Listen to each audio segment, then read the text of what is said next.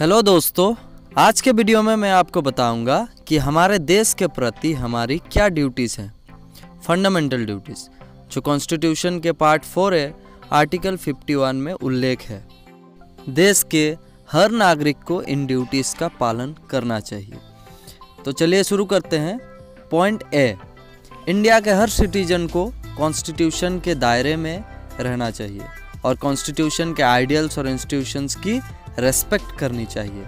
और साथ ही नेशनल फ्लैग और नेशनल एंथम का भी रेस्पेक्ट करना चाहिए।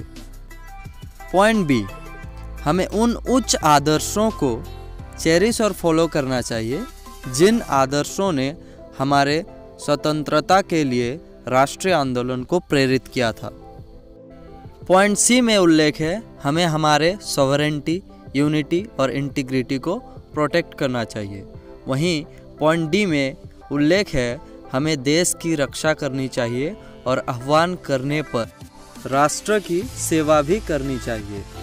पॉइंट ई में उल्लेख है कि भारत में सभी लोगों को हारमोनी और स्पिरिट ऑफ़ कॉमन ब्रदरहुड की भावना का निर्माण करना चाहिए, जो धर्म, भाषा और प्रदेश या वर्ग आधारित सभी प्रकार के भेदभाव से परे हैं और ऐसी प्रथाओं का हमें विरोध करना चाहिए जो स्त्रियों के सम्मान के विरुद्ध है। पॉइंट एफ़ में उल्लेख है कि हमें हमारी रिच हेरिटेज और कंपोजिट कल्चर को प्रिजर्व करना चाहिए और साथ ही उसे वैल्यू भी उतनी ही देनी चाहिए। पॉइंट जी में उल्लेख है कि हमें हमारी नेचुरल इन्वायरमेंट जैसे कि forest lakes rivers wild life को प्रोटेक्ट करना चाहिए और इन्हें इम्प्रूव भी करनी चाहिए। और जितने भी लिविंग क्रिएचर्स हैं, उनके प्रति एक कंपेशन का भावना रखना चाहिए। पॉइंट एच में उल्लेख है दोस्तों कि वैज्ञानिक दृष्टिकोण से मानववाद और ज्ञानार्जन तथा सुधार की भावना का विकास करना चाहिए। वहीं अगर देखा जाए तो पॉइंट आई में उल्लेख है कि हमें पब्लिक प्रॉपर्टी को सुरक्षित रखना और हिंसा से दूर रहना चाहिए। अगर मैं पॉइंट जे की बात करूँ तो यहाँ उल्लेख है कि हमें एक्सेलेंस के तरफ़ आगे बढ़ना चाहिए। हमें एक्सेलेंस के लिए स्ट्राइव करना चाहिए हर एक स्फेयर में, इंडिविजुअल हो या कलेक्टिव एक्टिविटी हो, ताकि देश अपनी लेवल को आगे बढ़ा सके।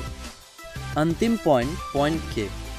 काफ़ी ज़रूरी है, क्योंकि इसमें उल्लेख है कि 6 से 14 वर्ष तक की आयु के बीच के अपने बच्चों को शिक्षा का अवसर उपलब्ध कराना हर पेरेंट्स की फंडामेंटल ड्यूटी है। ये जो लास्ट वाला पॉइंट था, जिसमें बच्चों की शिक्षा की बात कही गई है, ये 86 संविधान संशोधन अधिनियम 2002 द्वारा जोड़ा गया था। तो यही है हमारी फंडामेंटल ड्यूटीज़।